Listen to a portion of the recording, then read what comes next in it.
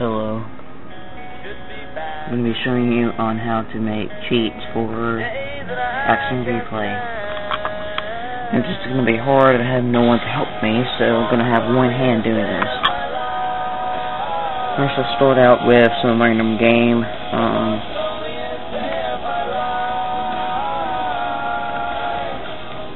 Super Mario. Let's do that. Easier. Go to DS. Um, let's see, what are we gonna do it for? Um, don't have this game, so I'm gonna show you. Hold on, action replay. Ah. Okay, action replay codes. You can't see it. Um, there's a whole lot of cheats, like do the longest things ever. Now I don't know how to copy and paste them because I don't have the thing, but I do have Action Replay.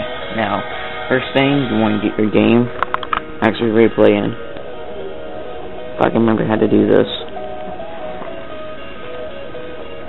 Um, go to the game that you want to make cheats for. It's going to take a long time.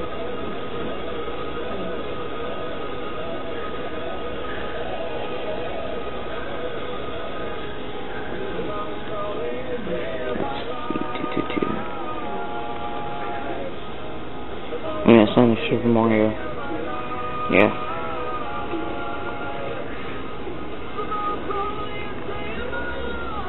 I don't think I have this. Super Mario 64. Sorry if you don't have it, so um, let's try a different one. Well, let's let's show you how to do it then. So I do have this game. You can see, another check now to do this, you put add new code. If you have a website that has the code, you type in what you want to call it. Um, like the easy something to remember, like invisibility or something like that. Put it in. Do. Let's put fifth.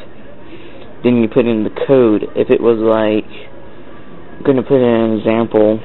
Two two one B six, seven, boom. Mostly it's like that.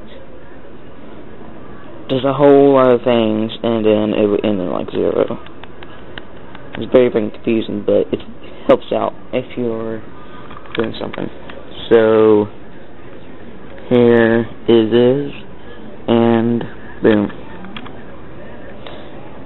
As I am making this video, someone wanted me to make this instantly on a stream and here's the stream. And yes, this is live. And there's the guy who wants it. So, thank you for watching. And probably the next things, I don't know what I'm going to do. I'm bored. So, Tom, this is for you. So, yeah, see ya.